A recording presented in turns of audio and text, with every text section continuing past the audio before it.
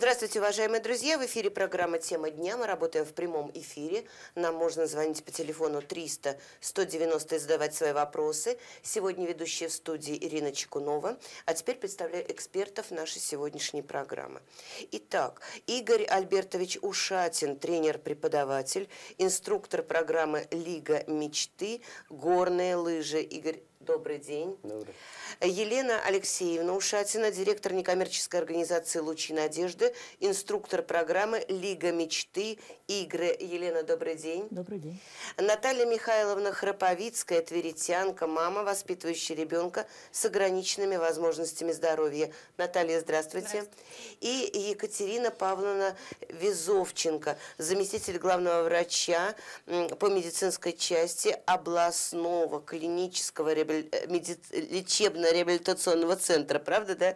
Правильно говорю, Екатерина Павловна. Главный внештатный дет, детский, нет, специалист по медицинской реабилитации, да? да? Это Минздрава. Минздрава Тверской области, Министерство здравоохранения. Уважаемые друзья, сегодня будем говорить о социализации семей, где воспитываются дети с ограниченными возможностями здоровья. Начнем вообще с возможности реабилитации. Существует ли у нас в области программа реабилитации и как поставлена работа может быть, отдельная работа и с детьми, и со взрослыми людьми. Это все разное, да? Елена Павловна, с вас, наверное, начнем. Екатерина Павловна, извините. Здравствуйте, уважаемые друзья, уважаемые телезрители. А, в Тверской регионе существует, безусловно, программа реабилитации детей – помощь реабилитационная оказывается для детей в двух профильных учреждениях, которые имеют лицензию на реабилитационную деятельность. Это областной клинический лечебно-реабилитационный центр, это наша площадка, и э, Центр медицинской реабилитации и детской неврологии э, при второй детской клинической больнице. Э, во второй детской клинической больнице там 15 круглосуточных коек, и к удаче, несмотря на эпидобстановку в области, они работают и функционируют в полном объеме. Там проходит реабилитационное лечение дети с неврологической патологией и э, дети, так называемые, относящиеся к программе раннего вмешательства. То есть это э, поддержка, э, программа для поддержки семьи, в которых рождаются дети с экстремальной низкой массой тела, с массой тела ниже нормы, и этих детей, конечно, сопровождают в ближайшие три года для того, чтобы э, этот особенный ребенок, который родился, мог получить весь комплекс медицинского обследования, весь комплекс э, восстановительного реабилитационного лечения и, безусловно, социальное сопровождение данных семей. То есть я так поняла, что идет реабилитация, мы говорим, с самого начала жизни человека, да? Без... С самого э, рождения, да, и пошли дальше. Конечно. Как мы говорим, реабилитация реабилитация проводится с рождения, ну и практически до 100 лет, да, то есть все пациенты, для которых утрачены те или иные функции в э, процессе острого заболевания, имеют право получать реабилитацию. А таких вообще каких, каких э, людей, вот, нуждающихся в реабилитации больше? Это все-таки детский возраст подростковый или это уже люди постарше, ближе к пенсии? А, вы знаете, все зависит от того, насколько а, пациент и какое заболевание он перенес. А, с 1 января текущего года порядки по детской реабилитации и взрослой, порядки организации медицинской помощи э, детского и взрослого населения, они разделены. То есть с 2013 года был это единый порядок, и мы всегда, ну, как бы детское население погружали и как-то ориентировали на взрослую часть населения. С этого года это два разных порядка, и организация организация данной помощи, соответственно, тоже абсолютно разная. А специалистов хватает? Вот все-таки направлений очень много, и а много вообще людей нуждаются в реабилитации? Ну, э, в реабилитации нуждается примерно каждый третий человек, перенесший то или иное острое заболевание, это для перевода на второй этап, стационарный. Соответственно, э, в дальнейшем, если мы говорим о детской реабилитации, то практически э, до достижения 18 лет мы рассматриваем о возможности прохождения ребенком реабилитации в соответствии с наличием медицинских показаний, с наличием реабилитационного потенциала. Да? То есть если мы понимаем, что какую-то функцию, которая у ребенка на сегодняшний момент отсутствует, ну, предположим, да, ребенок не ходит. И у нас есть возможности, в том числе у этого конкретного ребенка, эту функцию восстановить. Если мы понимаем, что ребенку уже, например, там 5 или 7, 10 лет, и эта функция восстановиться не может, то говорить о медицинской реабилитации в данной ситуации может быть уже будет и э, неоднозначно правильно, но тогда этому ребенку положена социальная реабилитация, педагогическая реабилитация, то есть для того, чтобы научить его, обучить каким-то навыкам, э, для того, чтобы жизнь ребенка, особенного ребенка, стала э, более полноценной.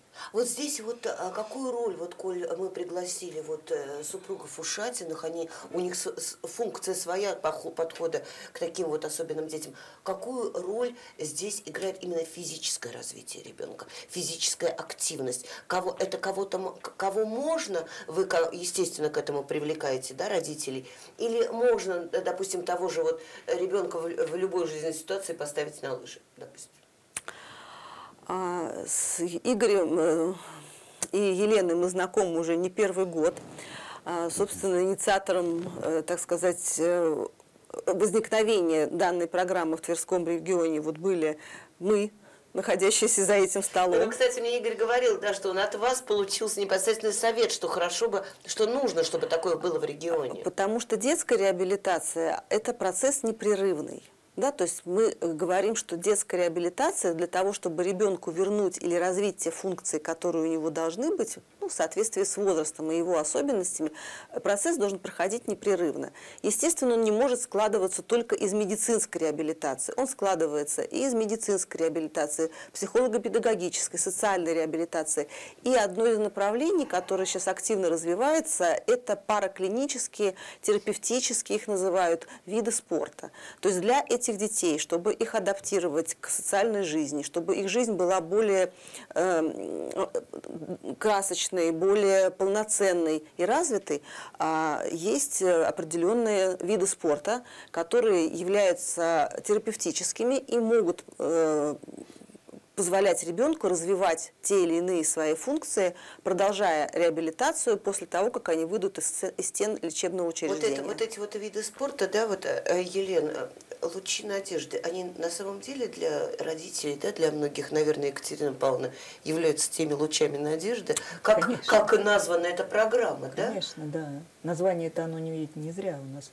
Мы э, различные виды спорта сейчас э, пытаемся начать, значит, чтобы детей реабилитировать со своей стороны, да, уже не с медицинской, а это больше социальная реабилитация у нас проходит у детей. То есть они и спортом занимаются, и в то же время они выходят э, в общую жизнь. Они так общаются, общ, общаются, они с другими людьми, с другими в принципе, людьми. наверное, что это очень да. важно, да, когда ребенок может быть да. зациклен или э, в стенах одной квартиры находится. Такое тоже бывает, да. И у нас выходят, когда люди в общую среду участвуют в каких-то соревнованиях, в которых участвуют все дети, все люди, и здоровые и с ограниченными возможностями здоровья. Это большой толчок дает в их социальном развитии. А как вы к этому пришли? Потому что я знаю, Лена, вы занимаетесь спортивным ориентированием, у вас да. такой конек, что есть возможность тех же детей особенных привлечь к этому спортивному ориентированию? Есть, да. Есть такой вид ориентирования, называется трейл-о. То есть, когда люди с ограниченными возможностями тоже проходят дистанцию, но только э, там немножко другие условия, но подходящие для них, для тех, кто передвигается с трудом. Это совершенно, э, да. это, это изумительно. Давайте мы продолжим после небольшой рекламы. Не переключайтесь, уважаемые друзья.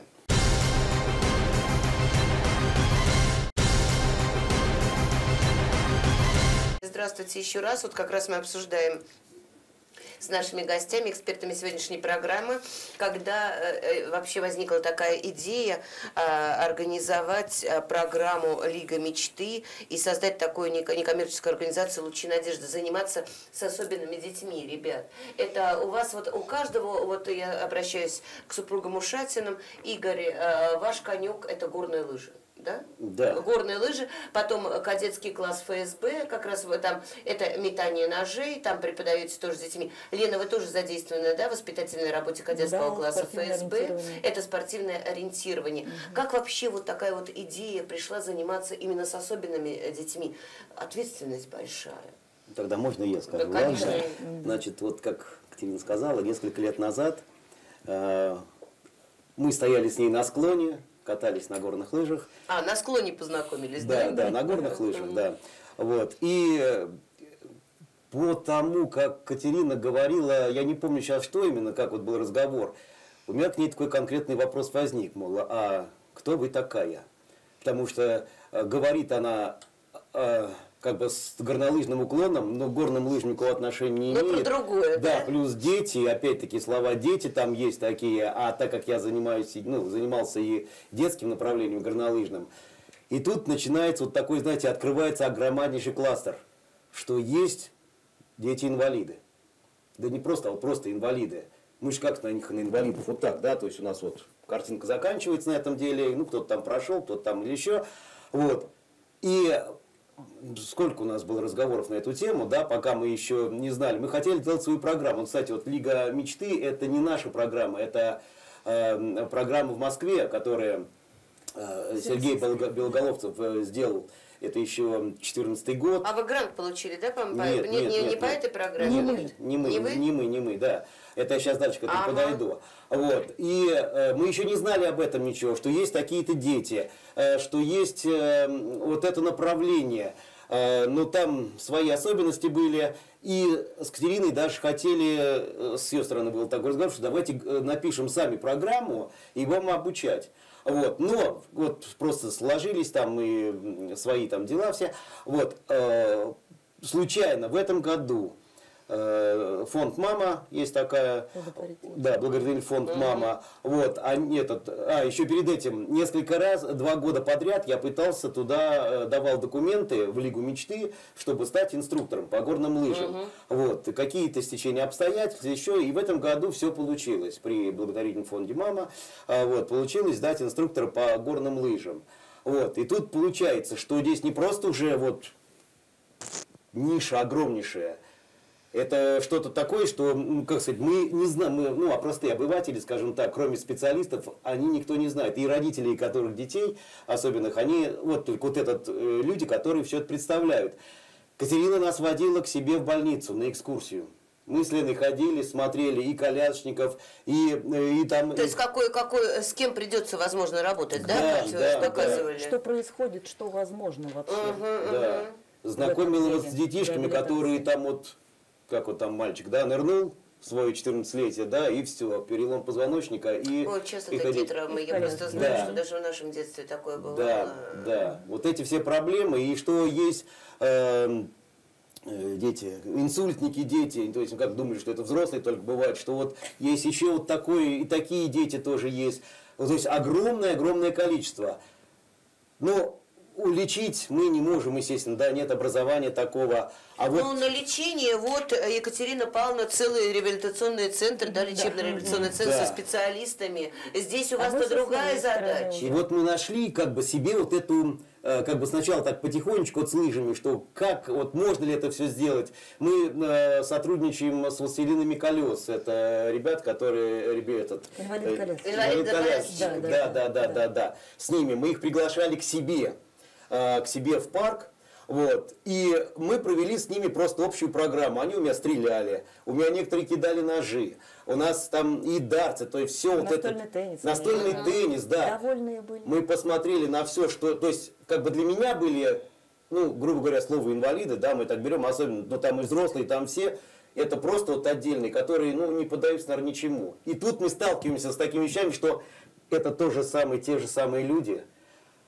А, Единственное тоже, что большой плюс, что нельзя с детьми разговаривать, что он ребенок, и к тому же вот особенный, а именно, вот я с ним говорю, как вот с нормальным, то есть у, кого-то может быть э, фикция, э, дикция маленечко так нарушена, как бы, да, но... Но мы тут и говорим, что ограниченные возможности здоровья, да, вот что у, у кого что из этих детей? Так вот, вся ситуация это в том, что мы вот, вот этот прошлый сезон, мы ка- катались на лыжах, все замечательно, мы катались. Понимаете, вот такой момент, когда везешь ребенка, спускается он вниз, он аутист, да, он никогда в глаза смотреть не будет, все, он те боковые, все это самое. И вот ему говоришь, вот так, так, так, ноги. И вот понимаете, когда вот такой взгляд у него вот оттуда идет, вот так встречается на меня, вот прям в глаза в В глаза. глаза смотрит. Глаза в глаза, у меня не получается. И опять взгляд вот так уходит.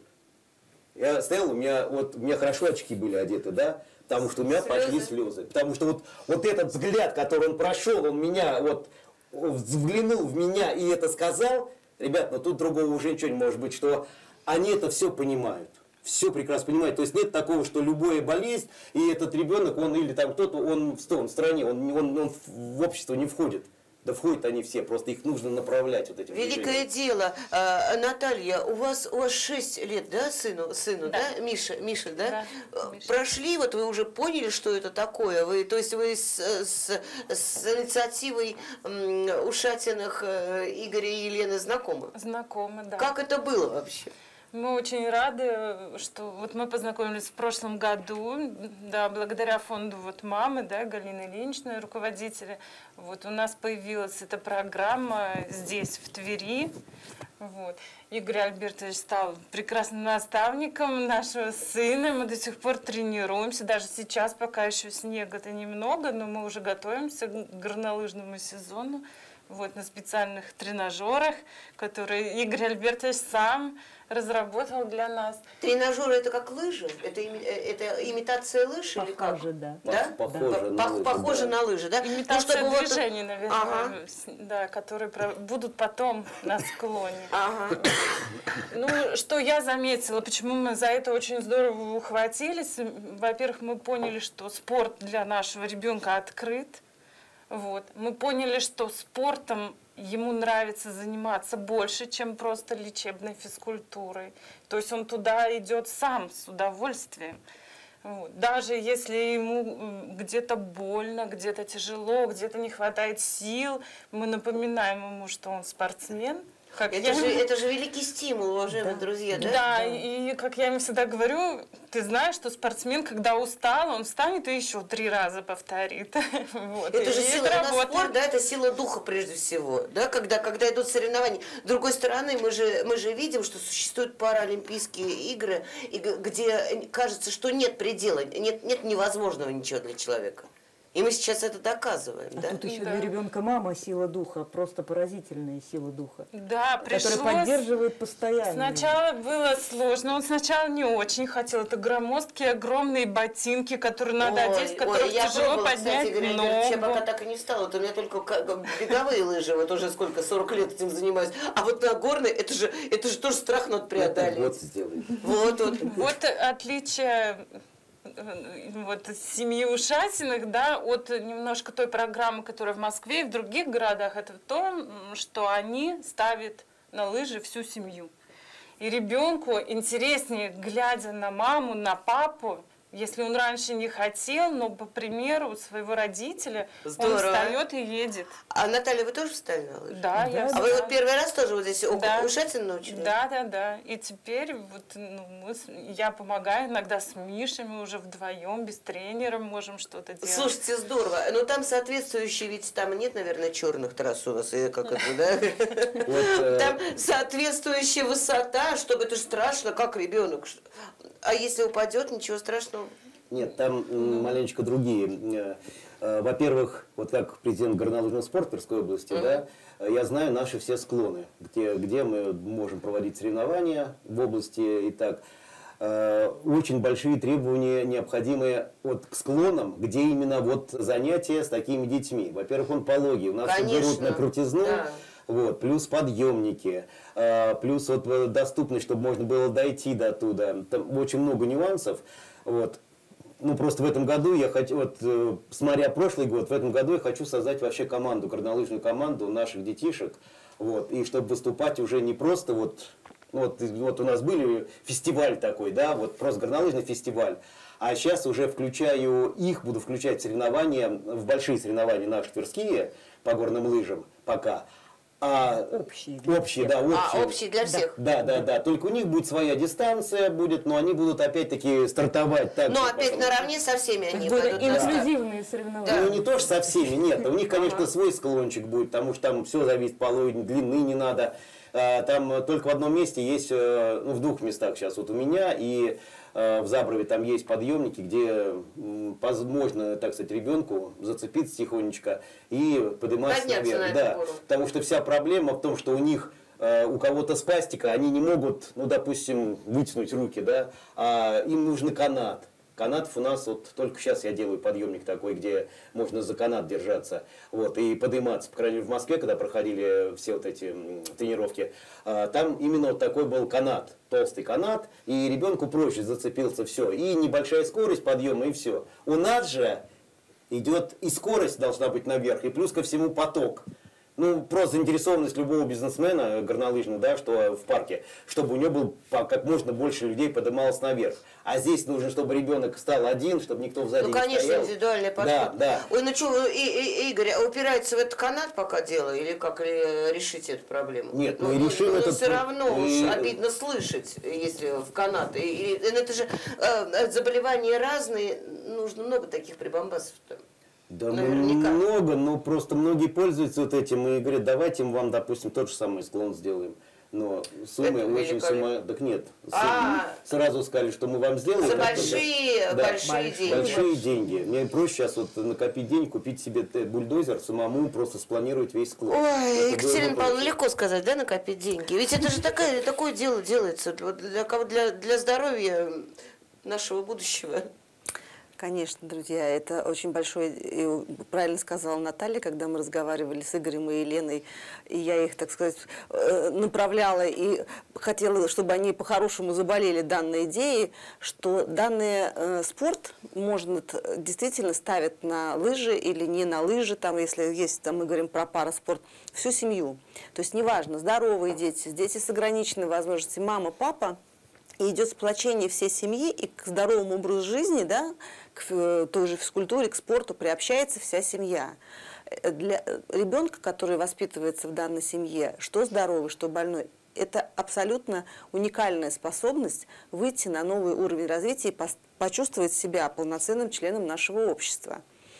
А, Конечно, для всех детей эти с- виды спорта должны быть разные. И мы очень надеемся, и думаю, что Игорь и Елена меня поддержат, что ну, сегодня маленькими шажками, но мы все-таки продвигаемся в том направлении, что в Тверском регионе такие терапевтические виды спорта будут поддержаны э, спонсорами, может быть, благотворительный фонд уделит нам больше Да, внимания. возможно, послушают нашу программу И, сегодняшний э, внимание. э, Потому что данная программа, она уникальна. Почему именно мы взяли детей ДЦП и детей с э, заболеваниями аутистического спектра? Потому что именно для этих детей, у каждого по-своему, но очень важна и постановка, и вот это движение. Да? То есть для детей с ДЦП очень лечебными является фиксация голеностопных суставов в ботинках, в лыжных, потому что там именно такой наклон, который помогает ребенку встать на полную О, стопу. не случайно. Это не Это не случайно. Это не случайно. случайно и не случайный и метод. Но вот именно и тренажеры ведь есть во многих реабилитационных центрах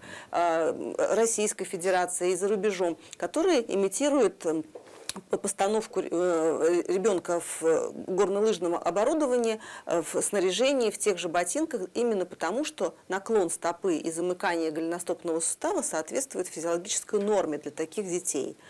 А если мы говорим про детей с аутистическими расстройствами, да, то есть абсолютно верно сказал Игорь, что эти дети никогда не дают зрительного контакта, а здесь, когда есть скорость, есть природа, есть как и у ребенка что-то получается, возможно, мы его, так сказать, из своего мирка, в котором он находится, вытаскиваем в мир окружающий. Да, вот как Игорь Да. все-таки все встретился взглядом с Да, ребенком. и они начинают смотреть Э, на То есть, если немножко уйти в историю данного направления, то когда Белоголовцевы организовывали данную программу, в семье этих людей растет э, двойня.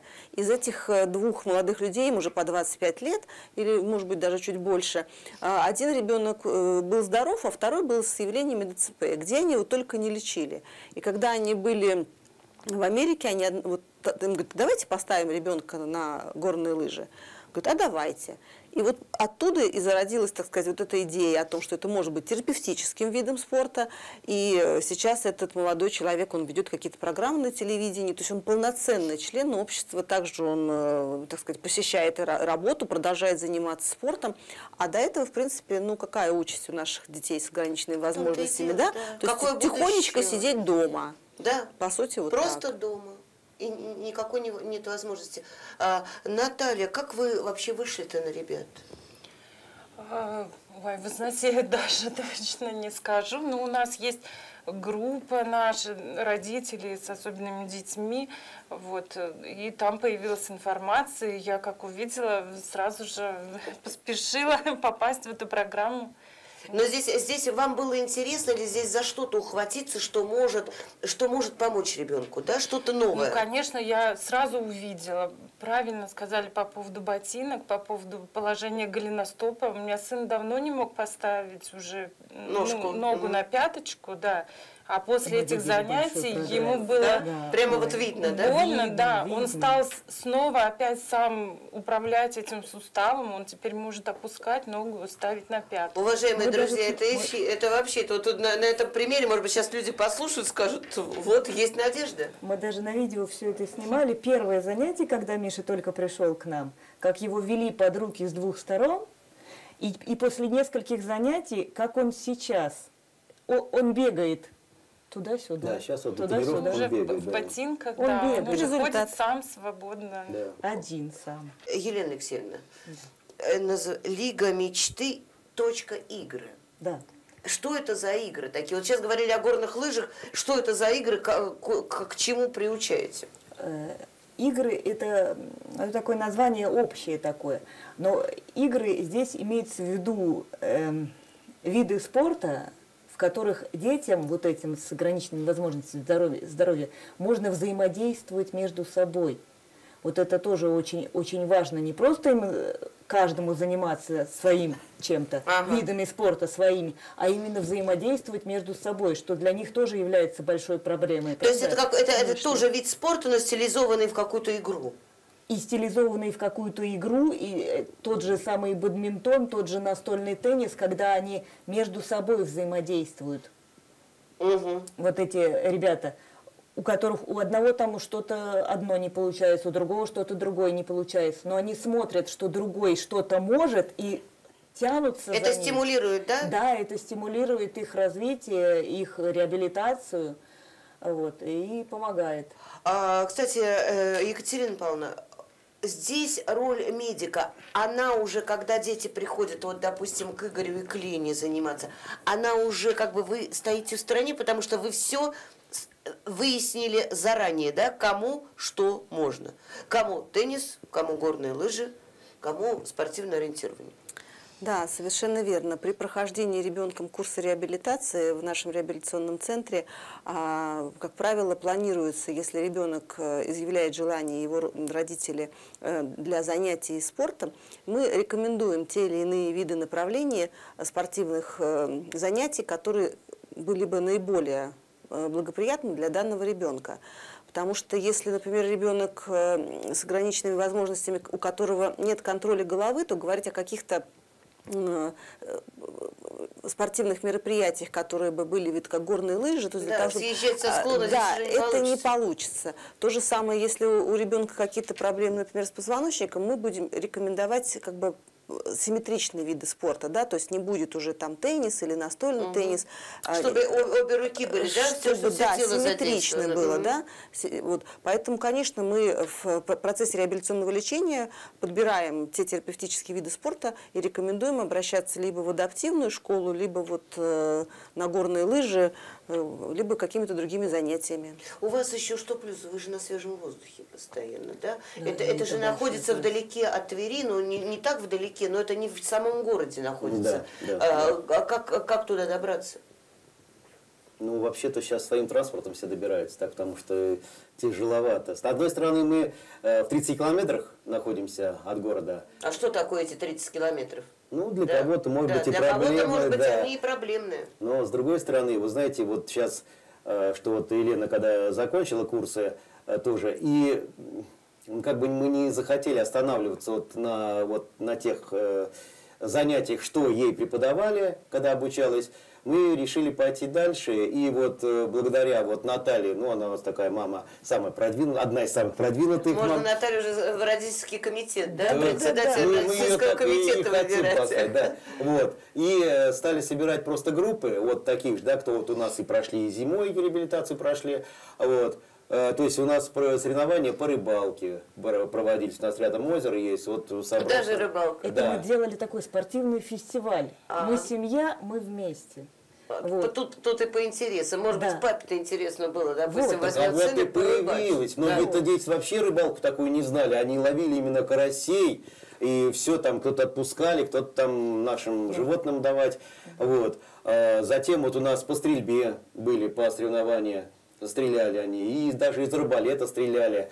а, Метали там что-то. В общем, как бы они не остан- мы не останавливались на тех вот игрушках, которые, ну, просто вот дали там вот что-то им там мячик в одну сторону дать или в другую. А именно они участвовали в нормальном, ну, в нормальной жизни, скажем так, что вот плюс ко всему, там еще у нас участвуют родители и дети, это из э, семей, ну, вот многодетные семьи. семьи, да, да, обычные. И они ну, никакого, вот, вы знаете, когда вот это все движение идет, когда у них общее направление есть, разницы что э, ребенок и тот, и другой, они не видят этой разницы. Ну, наверное, собой. к этому и надо стремиться, да, Екатерина Павловна? Ведь это, о, о чем говорим?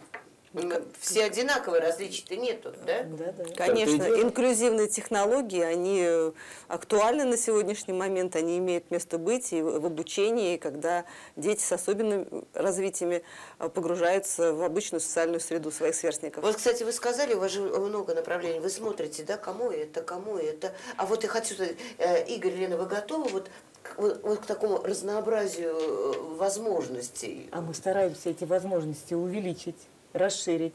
И то сделать, и другое. И тра- то есть э, нас главное, главное, мы нашли э, благодатную среду, да, на которую все вот это вот хорошо ложится. То есть мы им предлагаем что-то новое, и они с удовольствием на это откликаются. Что необходимо сейчас? Я понимаю, что хорошо бы, чтобы вот детишки собирались, их бы доставляли. Это было бы идеально. Ну, это хорошо, если бы были вот такие вот, э, казалось бы, мелочи, как канат вот этот специальный. Тренажер какой-нибудь специальный, да? Ведь это же э, э, дети особенные, и все для них должно быть особенным, наверное. Каких же денег это стоит? Может быть, обратимся к кому, уважаемые друзья, если есть возможность помочь, это наше будущее. Но здесь еще такой момент есть, что вот, эм, как говорил, а, есть такие, да, вот со словом спец, да, устройства все, все станки, все тренажеры, все, которые связаны, вот э, даже простой городок, э, даже и веревочный, и э, лазить там по нему, слово спец, оно сразу прибавляет несколько нулей туда. Вот, но которые вещи, кстати, это сделать можно, ну вот я сам, сварка, болгарка там и, и что-то еще, да, и сделать это можно все это нормально, но нет сертифика- сертификации. А Для меня, вот именно как тренеру по горным лыжам, во-первых, я говорю, я вот сейчас решили, что э, буду проводить детей уже дальше, не просто, что вот на этом уровне, что они остались, они у меня будут участвовать именно в соревнованиях, да и родители тоже, наверное, так Да и родители туда же, да, с с этого же да, склона. взрослые там идут, и все, это все интересно. Вот, э, хотелось бы, поп- и вот знаете, когда вот, вот эта вся появилась вот такая возможность, э, для меня, ну, скорее всего, это от Екатерины все это пошло еще вещь. Вот э, есть тренер, да, есть тренер, какой-то там есть сборных тренер там или еще, а для себя вот как бы так поставил, что если я смогу поднять вот этих ребят и сделать из них, ну, действительно, как бы не тоже детских спортсменов, но они могут участвовать в соревнованиях, и, ну, естественно, мы с ними не, не только зимой будем видимся, и летом, это, понимаете, тут высшее такое мастерство, которому уже, наверное, никто не научит. И я буду себя чувствовать очень-очень хорошо. Но сейчас не хватает в данный момент мне слайдера. Слайдер, называют. это у нас что? Это вертикализатор для детей э, ДЦП, но которые очень в тяжелом состоянии.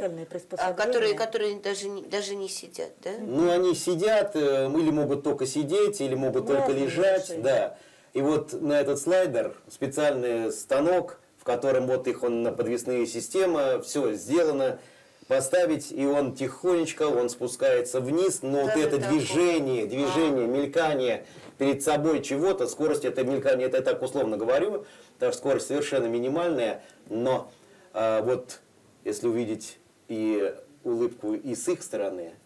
Наверное, все. Ой, Тут уже Игорь. Игорь, сколько приходится, вот за про- программа занятий какие-то есть, сколько в неделю, или это достаточно раза в неделю? Ведь не все родители могут приезжать там каждодневно, 30 километров. Да, и, конечно, здесь надо, это вся должна быть э, какая-то этот, динамика, чтобы все работать. Когда э, мы начали зимой с ними, то есть на каждого ребенка я заводил специальную анкету, и каждую тренировку писал их результаты, что, чего, и вот прям видно было по результатам, насколько оно все это э, движение есть. Но это очень дорого. Мы попробуем в этом году гранты, влезть в гранты, чтобы хоть, хоть как-то э, уменьшить нагрузку с родителей. Вот. Потому что все, сейчас цены какие-то, конечно. Но вот 150 тысяч стоит слайдер. Да? А, но это вот, если купить слайдер, все замечательно. Но опять-таки, ну, тоже немножко кушать хочется. Поэтому Ой, здесь да, вот моменты. здесь, конечно, либо помощь, э, тут либо спонсоров, либо со стороны государства какая-то помощь. Я не знаю, либо действительно гранты, как, Ну, которые, будем, да, с э, грантами как- работать. Как, а, как иначе? Кстати, есть уже, вот, Наталья, есть какой-то результат? Вы видите, вот вы говорили, что Мишенька уже перебегать, да, вот может переходить, да? Есть результат уже, да, вот этих тренировок? Есть, По сыну, по конечно. своему видите? Да, ну у нас Миша, он мальчик ходячий, конечно, у него ДЦП, но он ходит сам. У него правосторонний гемипарез, то есть у него спастично правая сторона, и ему тяжело правой стороной тела управлять. Вот. И благодаря занятиям, конечно, у него и спастика снижается. Вот. Как-то равновесие какое-то появляется, он лучше, координация у него стала, он меньше стал падать, терять равновесие. Вот.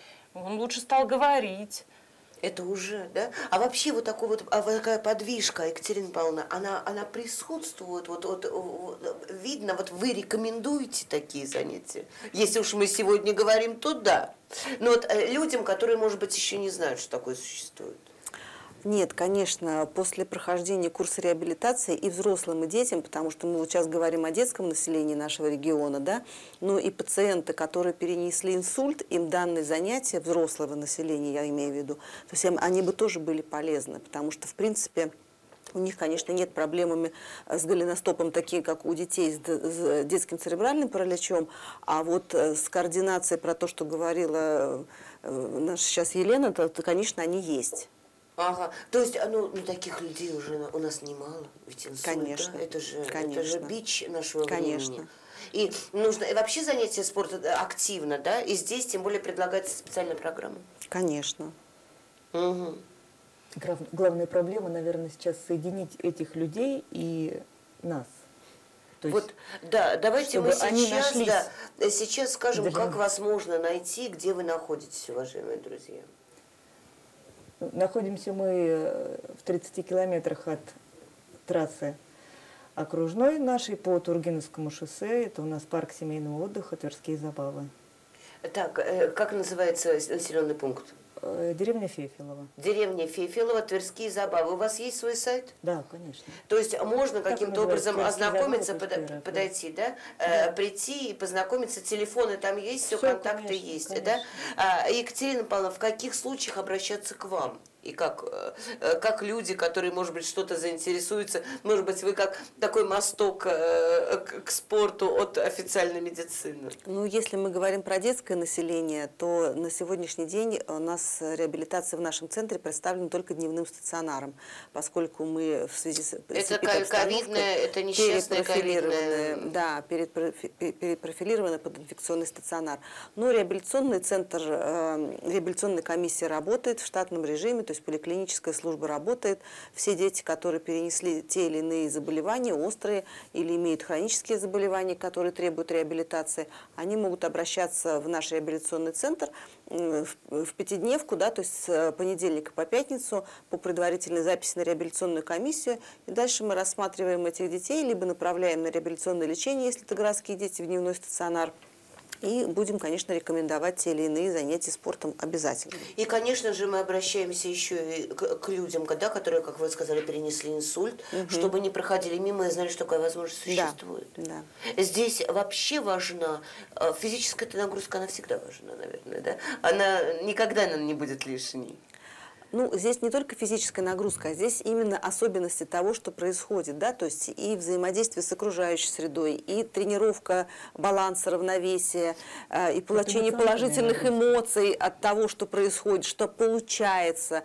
Э, Плюс, ну, снег, э, я так думаю, тоже Снег такой, это, да, да, морозный воздух. да. морозный воздух и всё, приятная абсолютно компания, очень э, им- и- с высокой эмпатией наши друзья, коллеги Игорь и Елена. Поэтому я думаю, что здесь это будет незаменимо для любого человека, который перенес заболевание, который хочет восстановить свои утраченные функции. Уважаемые друзья, зима начинается. Давайте планы на эту зиму. Несколько слов, программа подходит к концу.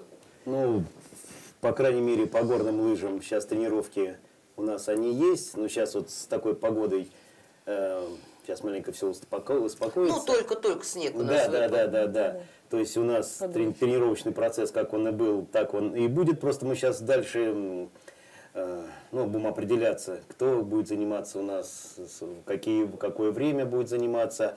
Вот. Э, С теми ребятами, кто значит, даст согласие, и родители, которые участвуют именно в соревновательном процессе, мы идем дальше. То есть не просто на одних лыжах, а уже маленько меняем технику, будем кататься уже там вокруг вешек. Ну, в общем, э, тренироваться побольше.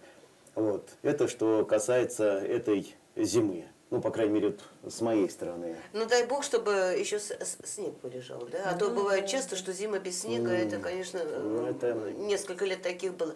Лена, у вас, у вас какие?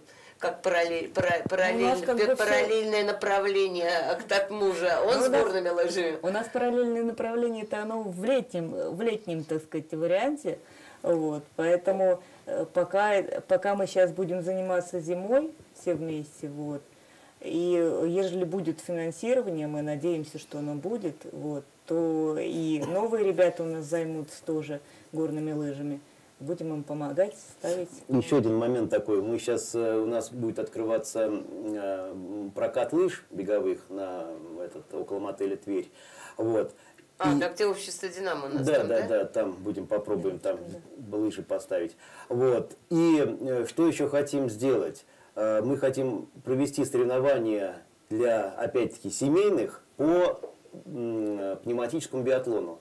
То есть там хороший лес, мы дадим лыжи, они будут проходить какую-то дистанцию, и там еще и Ой, стрелять. биатлон, да, давайте Да. дадим жару нашей команде по биатлону на, вся- на общероссийском Мы свои уровне, будем- да? мы свои будем своих готовить, да, вырастим, вы свои вырастим, да. но дай бог, планов очень много. А, Я так думаю, что, наверное, давайте мы общий совет дадим э, нашим радиослушателям и телезрителям.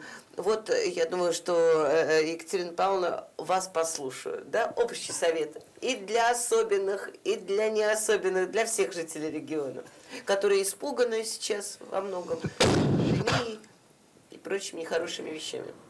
Ну, совет какой может быть?